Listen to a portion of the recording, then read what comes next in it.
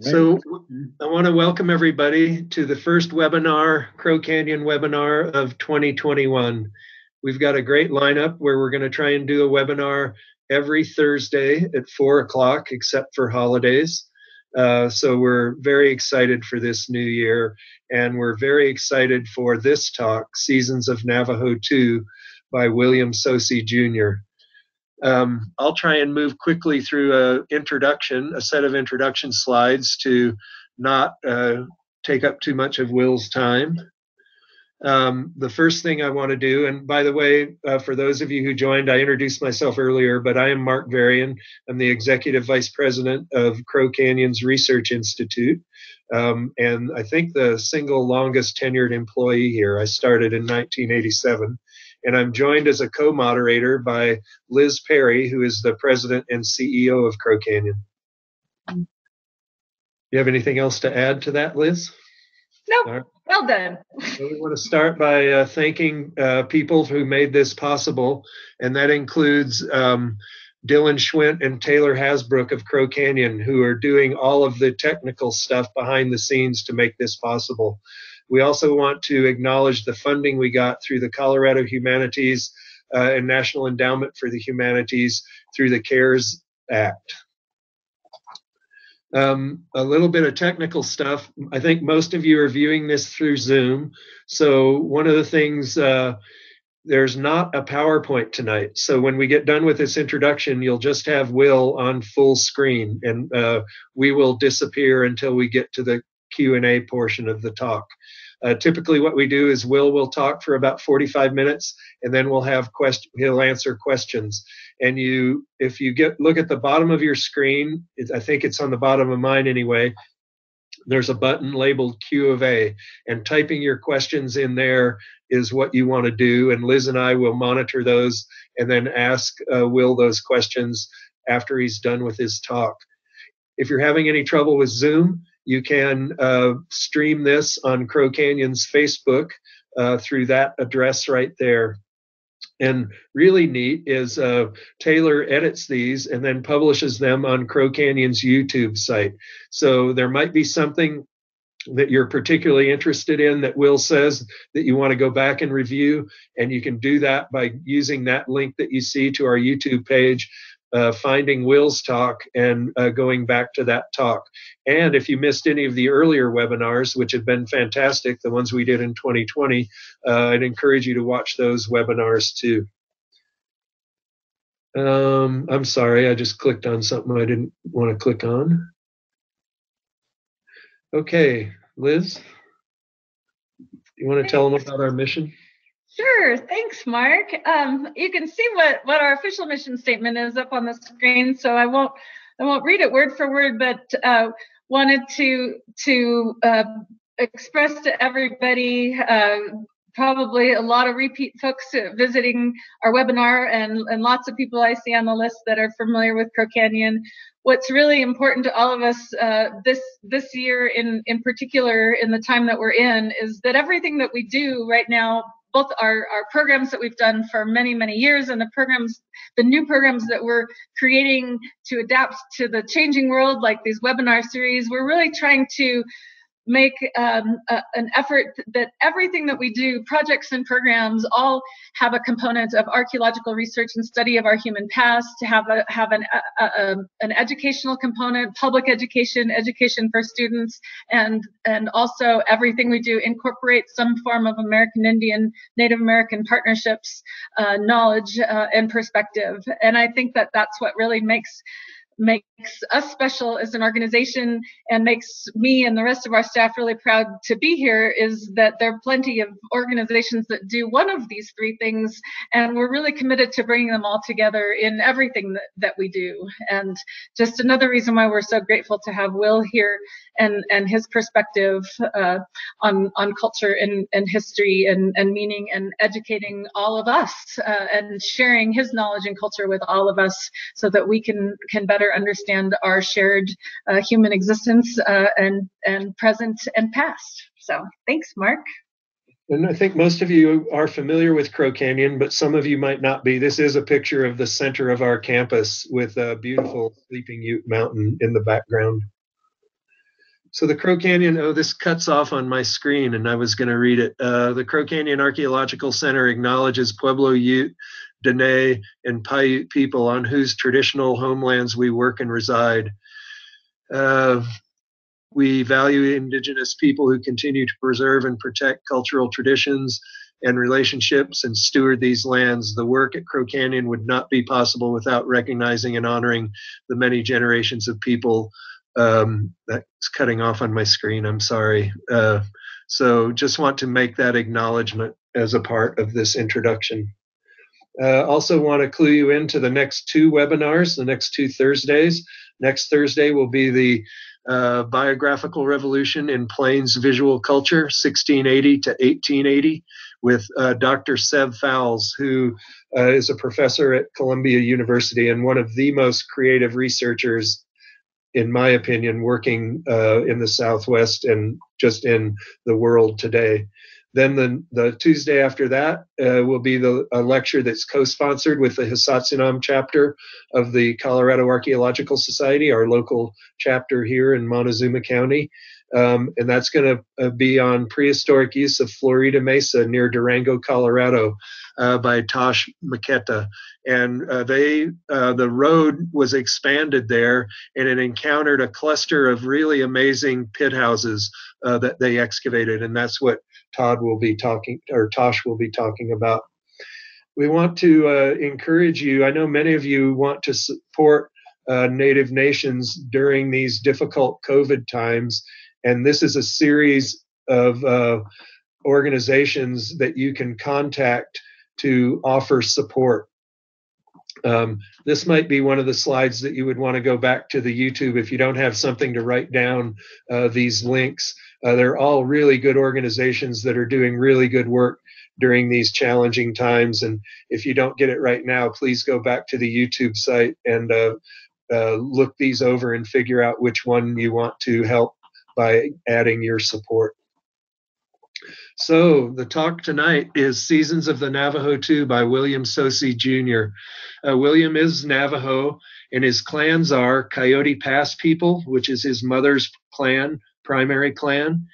His Born For clan is where two rivers meet people. That's his father's secondary clan, or his father's clan, which is his secondary clan, I'm sorry. Uh, his paternal grandfather's clan is Red Street Cheek people, and Folded Arms people are his maternal grandfather's clan. He resides in Lukachukai, Arizona, a beautiful place presently, but considers Tsaile one of the most beautiful places in the world, in my opinion, Arizona his home, which he makes with his wife Janice Toya Tsosie and Janice's Sun Clan from Jemez Pueblo. William has a BA in anthropology and Southwest studies from Fort Lewis College in Durango, Colorado. He's worked for the Navajo Nation his Heritage and Historic Preservation Department in Window Rock, Arizona, as an archaeologist for over a decade. Uh, Williams' professional work has taken him throughout the greater Four Corners region of the Southwest and the entire Navajo Nation. Some of his academic and scholarly interests include culturally peeled trees, which get referred to as CMTs, rock art, ceremonial systems, material culture, and cultural resource protection for, of, and for the Navajo people. William has a love for sharing his Navajo people's history and traditional culture, and we're so lucky that uh, he's going to do that tonight. So take it away, Will.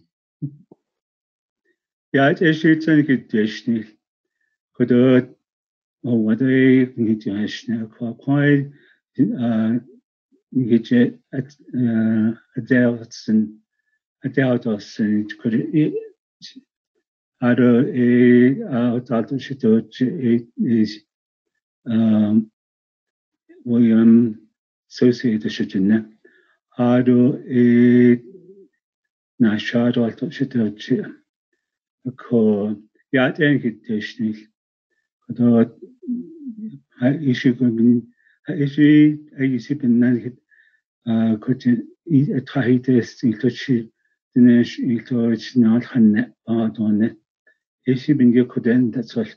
chidal ki. Hu. Um, basically, I said Mark has done my introduction by clan affiliation, where I reside, and and that itself, for me, being in a space, being in probably a multidimensional reality that includes spirituality, uh, physical being in the landscape. Um, that defines us as, as, as people. And knowing this is very important. As now for people, I, I was very fortunate when I was very young. I grew up um, with my grandparents. My siblings came, along, came along who were, who were much younger than I was. And my parents had their hands full with my younger siblings. So I got the luxury of being placed with my grandmother and grandfather. And so it's their world I know, it's their world I lived. And from that, I just saw two very different worlds. And how to na- navigate those worlds is by knowing. As, as um, everything to me, a sense of knowing can't be really synthesized or can't be described at times, something similar description. And some of the values, the values within that that determine knowing what we choose to believe, um, that is our core that defines us knowing that, that knowledge is all in the culture of everyday life. As Navajo people, I was always told that I exist here, I was created here Four mountains were designated in the four directions. And in the, this designation of these mountains was our home. In there, we were created as a people, the Navajo people of today. Yes, there was a first man, first woman, first human man, first human woman who came and emerged into this world. And but we as Navajo people have always been tied to our clans. Our clans define us. My clan comes from a Puebloan people. And the headmen in my clan have always acknowledged that that connection existed all the clans, except maybe the four original clans, um, they came to, from other places. They were other people. And so the Navajo people were basically a, a confederation of many different nations. I want to acknowledge um, I kind of uh, had had heard this in the stories and um, I also heard it from my late Che, uh, Mr. Herbert Benally, who used to teach at the college. And he said he one one time we were talking, he said, What is knowing to you? And I said, Knowing. I said, Yeah, what what what makes what do you think knowing is in, in, in a cultural perspective?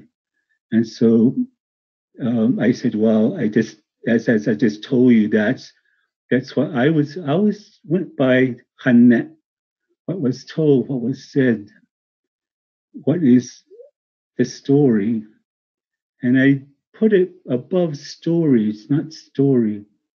For us, it's reality, the reality that is.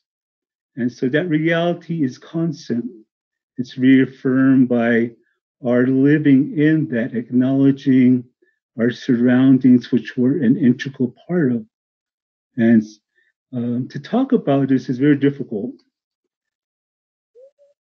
because that knowledge from from the moment you utter your first words, from the moment you realize you take your first four steps onto the onto the earth, the moment you walk out into the the, the heavens, um, protect you and guide you. And, and this is where we live. This is where um, life takes us. And, and so a lot of times some, some people can really simplify this and, and kind of is shoved off as some, something very simple for a simple people. But I think in there, you don't quite understand, especially in a living culture. And we, we don't trace really um, any other other designation to come into this this new people who were created in in this space. And what binds us together is our language. We are told your language is holy, your language is power, your language protects you, your language gives you the ability to interface with the natural world around you. So in this way, our, our, our language is, is very, very special. And so of all these different groups of people, bringing them together, we came together to be of one, one language, of one spirituality. And that's who the Navajo people of today, I think, um, are. And that's, again, just knowing. And it's going to be many someone who wants to study this, many PhDs, and um, to try to get a, a, a grip of, of, this concept. And in the, in the Western world, we have to then go off and then we learn another set of knowing. And that's a Western education, a new language, and for some of my people, a new belief, a new spirituality. And so I've always found in my life I've bridged these two worlds. For the most, I, I, I bridge it very well. I go between and I feel comfortable. Uh, and the, com- the comfort for me is that what was shared with me was shared freely with, with respect and honor, and I cherish it and that you can't write that down in a PhD thesis because that facet of, of, of that knowing doesn't exist. And, um, that or I haven't found the paper that, that tells about it, that studies it. And so, um, as, as, as I was as I was growing up, um, this is what defined us as, as a people this whole concept of knowing the ability to um, to be defined by that which is around you. As I was growing up, everything was a story. The house we lived in was a story. The fire we built was a story. The water we drank was a story. The doorway was a story. The fire poker was a story. The grinding stone, the woman's um, implement to prepare food, the men's implements to for, for protecting. And so some of this knowledge is, is given slowly of knowing. You don't like arming a child with a firearm if they're not ready to, to share this knowledge. It, it is spent, um, given in a lifetime. A lot of times I've had um, scholars come to me uh, that I've come to know, and that, and they said, "Well, we'd like to know about this. What what what culturally what what what is this?" And um, and I, I have to tell them, well, do you have a lifetime? For me, I have to look at you like an infant, a child, and I have to take you by the hand. And I can't take you very far because for you to totally understand that that that is that reality of the of the question answer that you're trying to to identify. And so it's it's very hard at times, and and I, I kind of um, see this multi generation. I, I, I, think in, in what he shared um, over time, this knowledge, um, we know we live in a changing world. That world we have no control of. It, it, it is changing around us. And I, I was always taught it's survival to know change. You must be changing all the time. And so, in this way,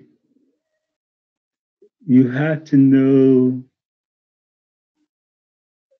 what you know and be able to change because it, what it's based on is changing also. I know that sounds sounds kind of way out there, but um, I think, for example, there there are a lot of new ideas, values, and um, when when I was back at Fort Lewis in, in in my classes and papers I had to write, I remember examining it from from that other world of the others, um, what they considered valuable, what they considered was of of help, um, or something that um, is, is is had no equivalent in our world, and so we had to learn many many new values and that covers all aspects of, of being human. And so one of the big changes was an economy. When the trade and post system came onto the reservation, it was basically we had to learn to live in a capitalistic society and value many other things of, of having a lot of material needs now that we feel we needed. And so I, I remember I, I, here's a, here's here's one story. When I was very young, um, in the wintertime, one winter, I was at my with my grandparents, and it was just the three of us home, and it snowed, and uh, we heard a vehicle pull up, and it was um, a man that my, my grandfather worked with. My, my grandfather was a, a translator for the field health service. He translated for the doctors and nurses that went into remote areas of the Navajo Nation. And so he translated um, whatever needed to be communicated um, that had to do with uh, health and had to do with um, that aspect. And so uh, he came to visit. And so my friend, there was a knock at the door, and, and, and he took he came in. He my grandfather said, "Why don't you spend spend the spend the night? It's too late." And so um, they were busy talking. And all of a sudden, uh, we heard another knock at the door, and this time it was my grandmother's great uncle. He had come, and he came in. He had one one of these long surplus military um, woolen coats, and he took it off. And immediately, my grandmother started preparing food and putting up the coffee and and getting them something to eat. And so I was laying there with my, my hands underneath my chin on the, on the sheepskin with the kerosene lamp, a hearth with a fire going. And um, my, my grandmother's great uncle started to visit with my grandfather and they were talking. And my grandfather translated to the young doctor who he had, who was his co-worker, who had come also. And so when they were done visiting uh, and they started to eat, um, I, I, guess my grandfather saw on his face that he's wanted to ask a question. So my grandfather says, uh, Would you like to ask anything of him? And so he goes, Yeah, yeah, I'd, I'd like to know something. He, and uh, the young doctor said, He's lived a long time. He's a distinguished looking gentleman. He's obviously seen a lot in his lifetime. And what has he seen that most interests him of my world? Pointing to him to himself, the young doctor. And he, my grandfather translated as best as he could. And then my um, my grandma, my grandmother's great uncles reached for his woolen coat, started to dig in the pocket, and I was wondering what he was doing. And so he pulls out a penny and sitting there cross-legged, um, having a meal, he tosses the penny underneath the young doctor he goes, I see that your people, that is your God. That is something you will do, some, you will sell your mother the earth for. That I have heard. And so my my grandfather was, was very diplomatic and translated and and and he translated and they were still eating. And after that the the doctors uh, my grandfather said to the young doctor do you have another question? Would you like? He goes no that's very profound. And i guess for me that for me that story came back as the whole my when i started to work on a paper about capitalism coming with the trading post into into um, uh, uh, into the natural world. Another was when we had cattle, and we used to take them to market in Cortez, and um, we would haul cattle there, and we would pass these signs, and they were um, bank signs and they were saying for sale. And I, I didn't understand that. And my father driving and I said, Dad, what does that mean? What are they selling? I don't see anything there. And my dad, my dad smiled and laughed and he says, this, these people out here, they buy and sell the land. And for me, that was very foreign. I said, you can't do that. and he, he, my father just said, yes, it's a very different world out here. Um, people buy and sell our mother the earth. And so it, it, it was really an, an, uh, an eye-opening um, thought, uh, value learned. And um, and, and so values like this really have changed our, our sense of knowing, especially those of us, um, like for me, I, I went through the whole boarding school system.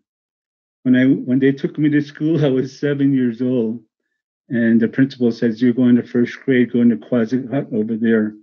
That's your class." So I went in there, and the students there. And so I started school just right at first grade. There was no Head Start, no kindergarten, no preschool. You just started school first grade. And then I went to the boarding school system on, on the reservation. I went to Grade Boarding School, Sanostee, Shiprock. And then when I got to high school, my my mother said, You need to get a better education. And so she, my parents decided to send me to a parochial Catholic high school in Santa Fe. So I was shipped off. Um, for four years, I attended St. Catherine's in Santa Fe. And there, there was a handful of Navajo students who attended along with Pueblo students and um, Hispanic students. And um, and so it, it, it, it, kind of put me in the, and then into another another world um, of being very multicultural. And I think at, at that time, for me, the, the, the knowing had reached a plateau that I, uh, my parents saw that education was valuable, is something they wish me to pursue, and and so I went off. I furthered my education there, and so um, I think this, as tying it to my my interest in in, in archaeology.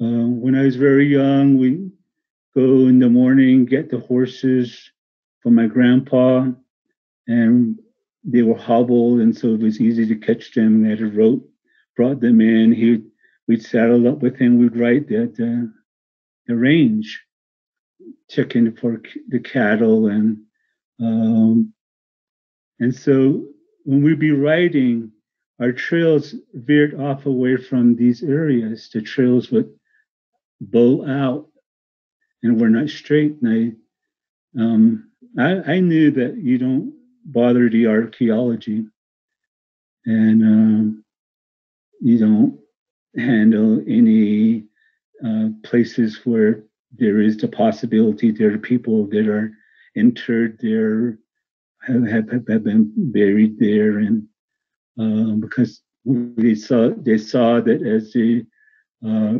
archaeology eroded, there would be human remains that would that would get exposed, and and so basically, I we I was taught you just don't bother them. Of course, this again values change under, um, and so this this knowledge gets modified. Uh, this knowing gets modified, and um, the first technicians or, or, masons that did restoration work at Mesa Verde, Chaco Canyon, and the whole slew of technicians that came out from the huge tribal farm south of Farmington at Napi. Um, they were taught to, to deal with and work in archaeology. And, and they took up, uh, as, as we did, ethnography, interviewing uh, people who were near projects, archaeological projects going on, um, where they were excavating. We would take eth- ethnographic information and interview. And more than one, more than two dozen times, I, I ran into people who said, "Yeah, I used to do what you're doing. I helped build I 40, and we worked for the, the archaeologists. I worked in Chaco, I worked in Aztec ruins. Um, I worked down in Chelly. And we, we we're the ones that made them pretty. They were just rubble. And so, um, again, here are stories. Um, that define us today as me as a person. And again, this was a separate paper I was uh, I was working on. So it's a work in pro- progress. It started when my time in at, uh, Fort Lewis in my undergraduate studies, and I had some wonderful people who were um, my teachers there.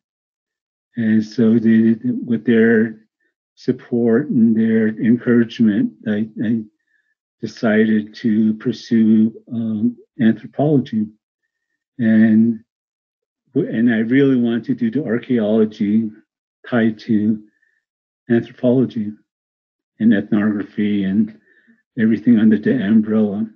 And so um, I told my parents, this is what I would like to do for my profession. And then I remember my mom go, Yad la'ol, yeah. um, yeah. And basically she was saying, what the hula hey, why do you want to do that? and so um, hey, I guess they thought about it and my father told me, well, if that's what you want to do, you're going into areas where uh, you might need a lot of protection. You'll need to learn these protection ways. You'll need to come to know these things and how to deal with with um, working in that world, that environment. And so that became one of my papers too. Um, and so um, I think actually, I, I think I kind of gave uh, a part of the paper over at a uh, the Pecos conference um, north of Cortez. Um, anyway, I, I, guess I've been in arch- archaeology now for for some time. Um, and what I what I'm doing now really ties to a sense of knowing um, the sharing and the oral history or the stories. I was very fortunate to uh, work with the Navajo Nation Forestry um, Department, and I, I, I am the archaeologist who who does um, who works with the commercial forest, which is basically all the Chuska Mountains, Mount, the Carrizo Mountains, Navajo Mountain, and the, um, the I think they're called the, uh, Crown Point Highlands, uh, the, the mesas there where Hosta Butte is, and there's there is some uh, Ponderosa Forest is located in there, and so that I knew these places. I knew the stories, the ceremonial stories that that talked about these places, and they have names, and the uh, many events happen in these mountains. These mountains are are are are rock. it grounds us. It, we we brought this this sense of it was brought by first man, first woman into this world. Actually, they forgot they forgot him first, but then they remembered it. They had to send someone to go get the rock, and um, the mountains um, were then put out, and they're they're the ones who basically divine as a perimeter of, of our world. And so I, I had the luxury to work every day in that that very sacred space. Um, and as I said, many of the ceremonial stories talk about the Chuska. And here in Lukachukai, uh, we live right near uh, where White Shell woman was journeying back from the west. And she left down as a sand ridge comes from the top to the bottom of the Chuska near Lukachukai. And her cane marks where she was journeying, they were journeying home back to um, um, Huerfano, um, Mesa, the place where there was uh, the first home was built in this world, the dwelling place of first man, first woman, and the, the uh, raising place of uh, white shell woman, changing woman. And so, and, and the hero twins. And um, so every time I'm up on the mountain, I look out and in the landscape, I know all those are stories.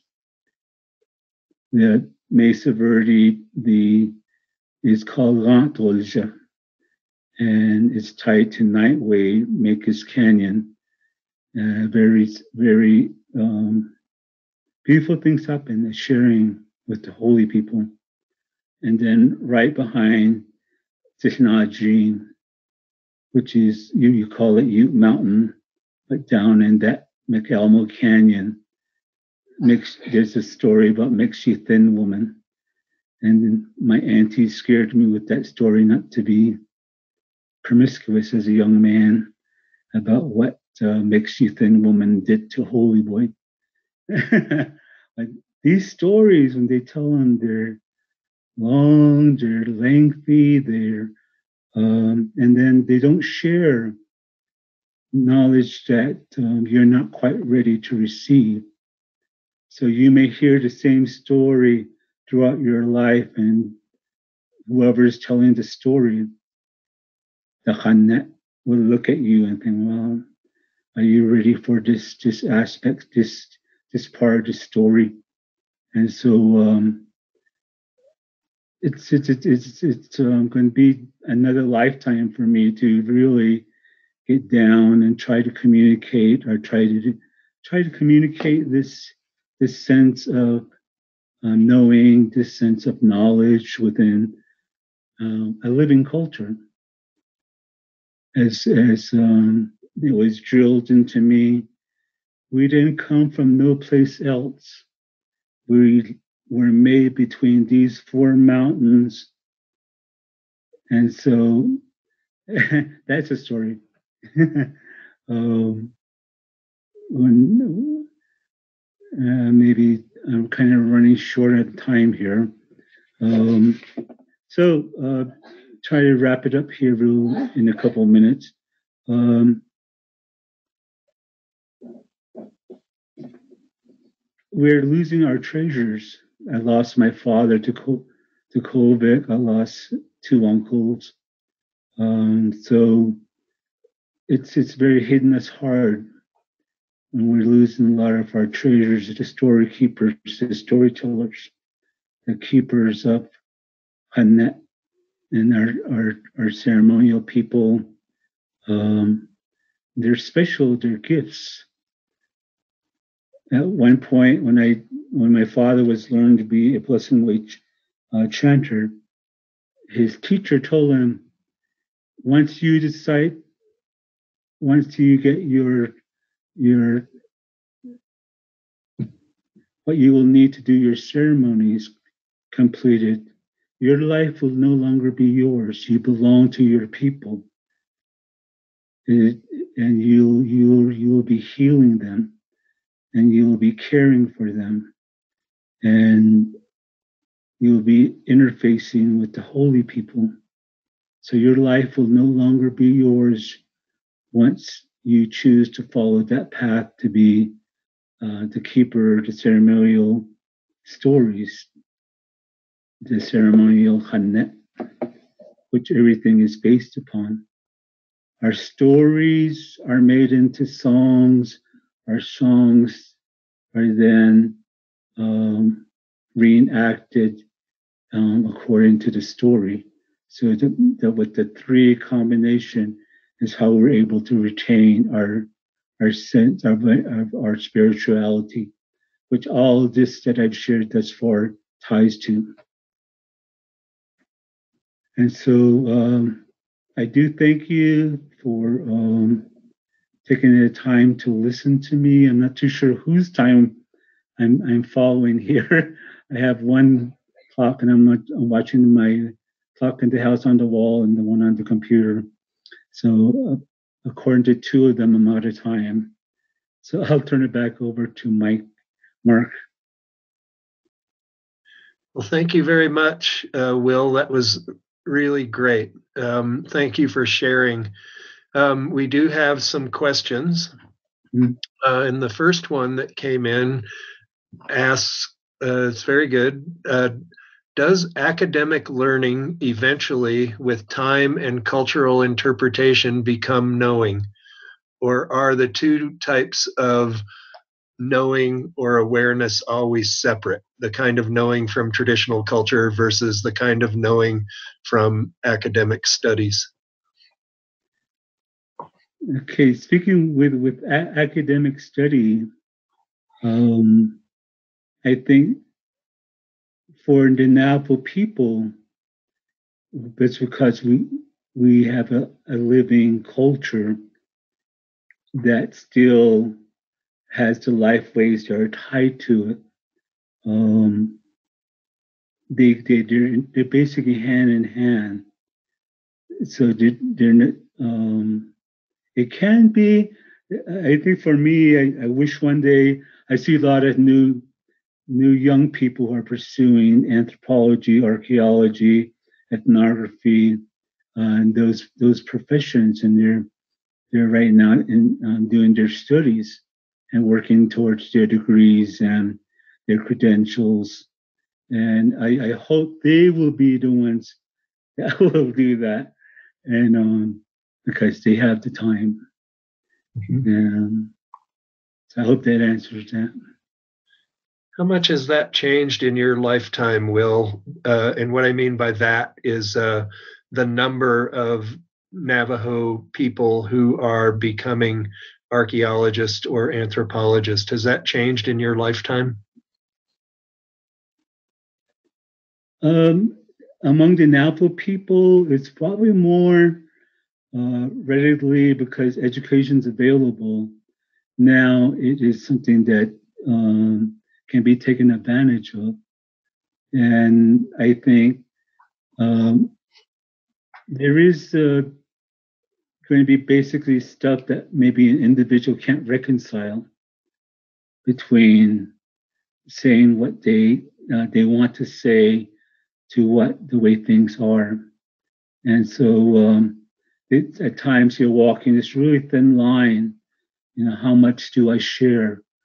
And I remember the, the, the old people saying, Why do you write that down? What is the purpose of that? This is a living language. This is a living way of communicating, of, of knowing, of knowledge.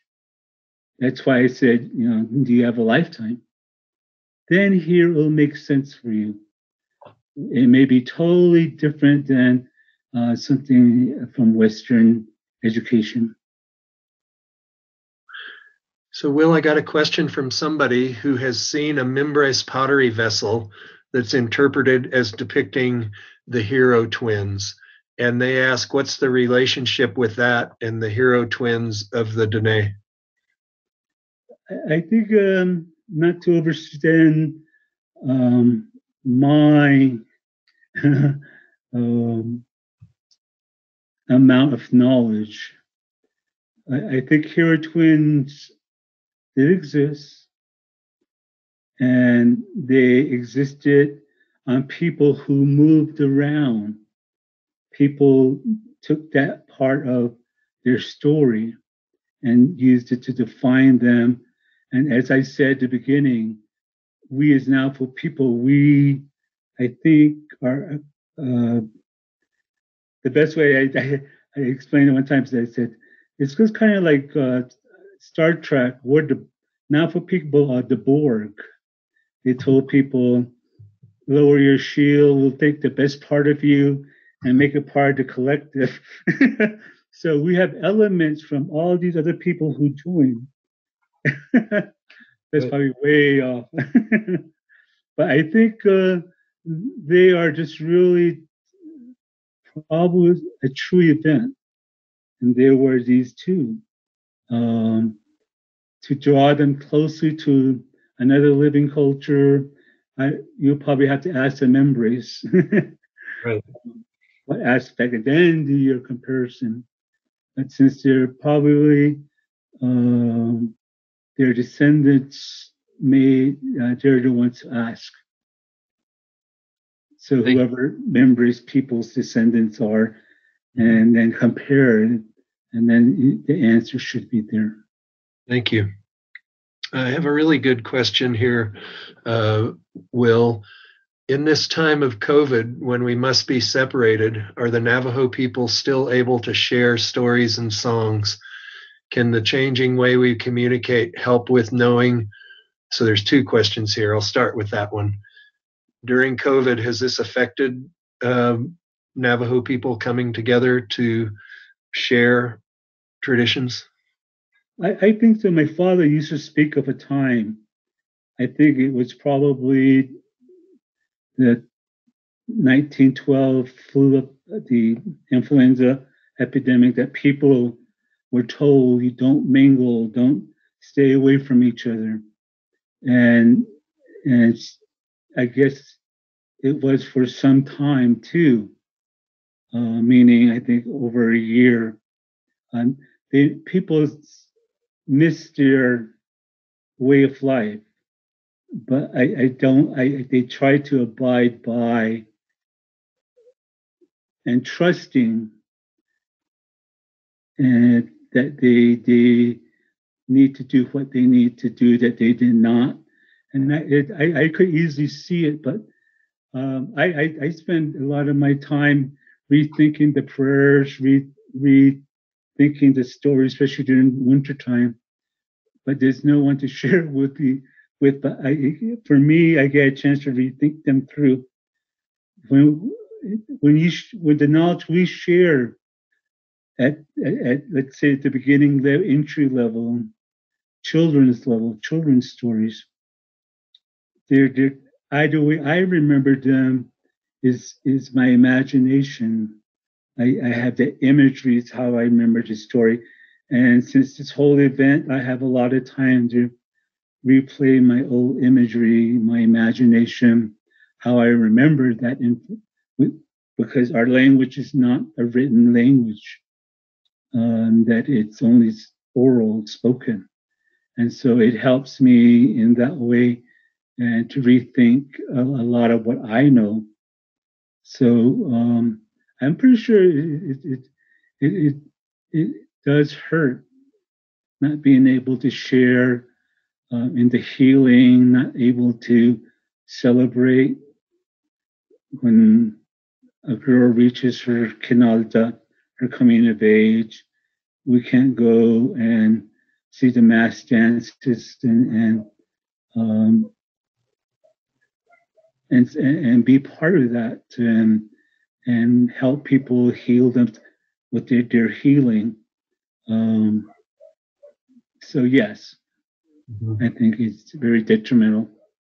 This uh, same person asks Are the changing ways that we communicate, and I assume this means through things like the internet, help with knowing, or is it a hindrance or a barrier?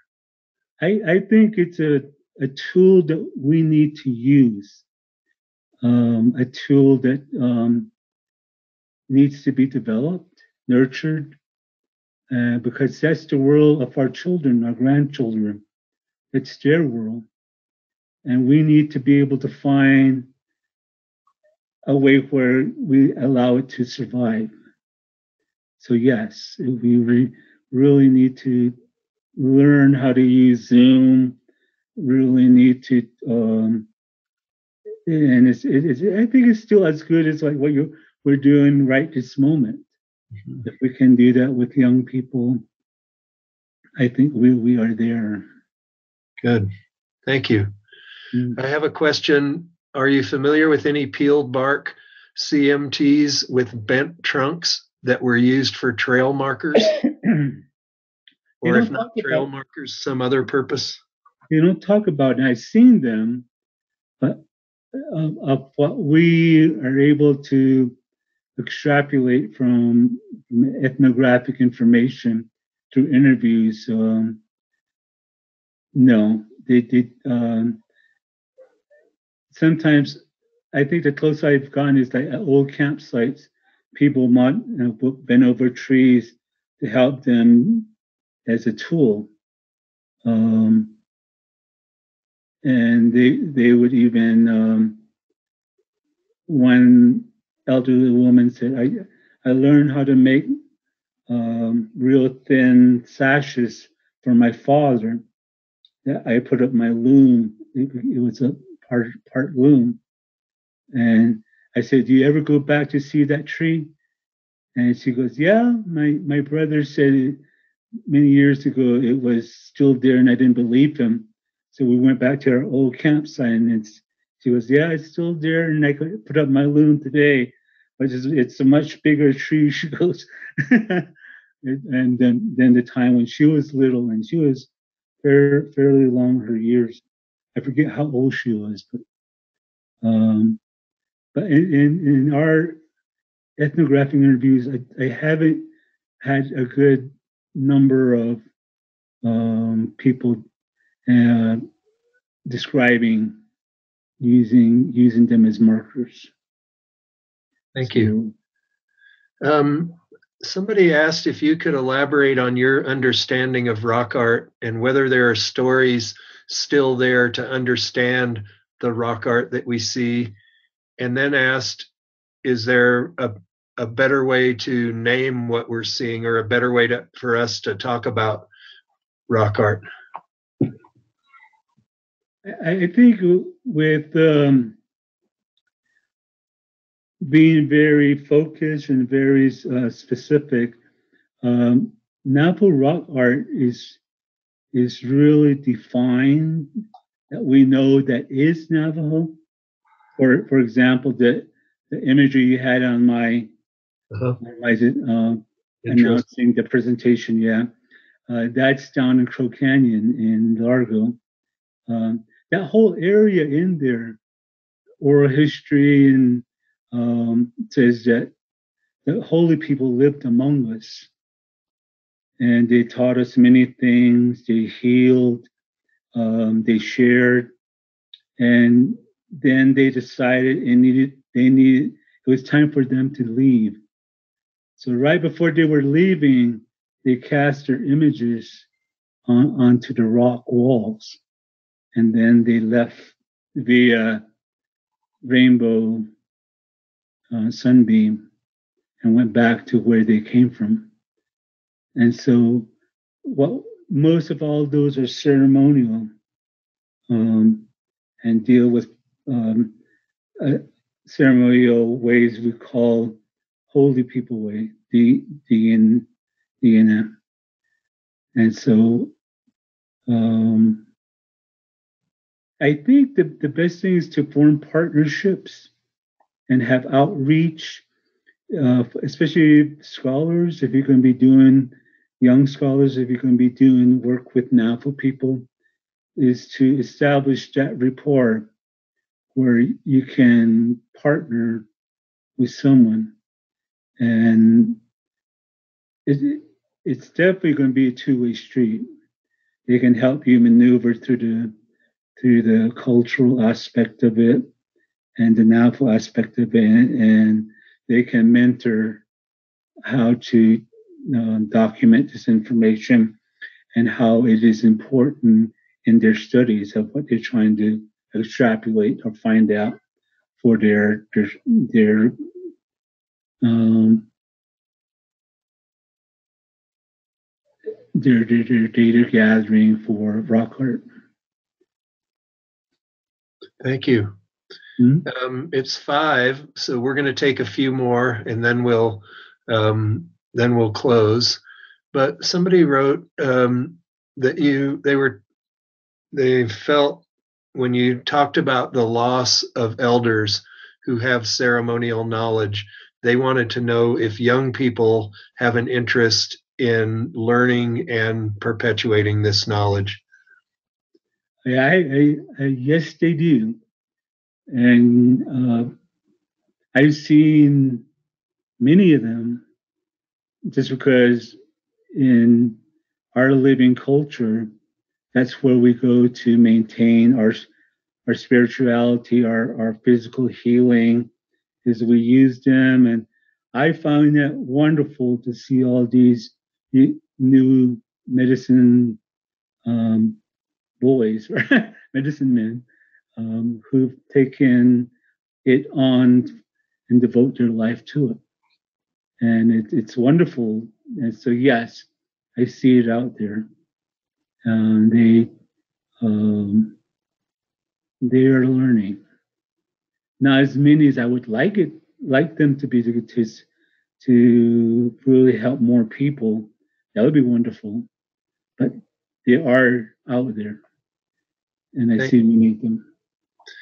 All right. I think we'll make this the last question, and I apologize. There's some other ones that came in. Maybe we can figure out another way to get answers to people, but I think we'll make this the uh, last one tonight because we're at our we're after five o'clock. But somebody wanted to know your opinion on Bears Ears Monument and how that area should be preserved and protected. Uh, Sheshta is a very special place to us there's a story about um, many stories that relate to that region in there, the, the canyon lands that, that surround Chishta, Bears Ears. And it's it's one of those things again where sacred um, really needs to be um, given a little more value to the outside world. I think people have a hard time understanding sacred. Maybe at one time they did. When I was very young, I, I had the opportunity to travel throughout Europe. I, um, was very fortunate to have friends who had the resources and allowed me to travel with them and, with their family. And um, I was real curious um, on why a lot of the, when I was 17, 16, 17, we found a, uh, a lot of the cathedrals were empty of generally people, especially young people, I didn't see. And so, um, and to me, I would think that would be a sacred space, sacred place, yet it was empty. It really bothered me. And I was thinking, my boy, I hope we don't get to that situation where people don't honor what is sacred. And that, that sacredness um, is something that is probably could be um, edu- uh, used to educate the population um, on, on, what is important to that place. Um, I've been there many times uh, with medicine people leaving offerings. I've gone up there with medicine people making gathering plants for my medicine that was I, they were prescribing for me. Um, and so there, there, there is a, a, living connection to the place. It'll never get severed. I think now if people find a way to cut the fences, they to go to those places which they've always known and ties to the, those ceremonies. Well, thank you very much for uh, today and for the questions we didn't get to. We'll try to find a way to work with uh, Will to get those people answers to those questions too. But we really appreciate your presentation today, Will. And do you have anything else you want to add in the way of conclusion? Uh, I hope that someone who has the opportunity to, to watch and listen, that uh, they share the information. Um, as I as I said in my presentation, all this was shared with me freely and so and i i use my own judgment on what i share and how much i share and uh, and so i plant all these little seeds of, of curiosity in people's being that draws them to have uh, respect for the past have a respect for the archaeology of this beautiful region that many people occupied over a long period of time and are, and are still occupying it today. So that's that's probably my my closing. Thanks, Liz. Did you have anything before we close? Oh no, just thank you, Will, so much for sharing your culture and your personal experience with us. It means so much to all of us at Crow Canyon, and I, and I know to everyone who's watching today. We're very grateful to have you as a partner. My pleasure. Okay, well, this will be up on YouTube. And uh, Will, I look forward to seeing you in the coming months. Hopefully, we'll be able to talk more and start our conferences again and, and see you on a regular basis. And uh, appreciate this talk and the other times that you've worked with Crow Canyon. Uh, so, thank you very much. Oh, Yeah. Yes, thank you. Bye, everybody. I'm going to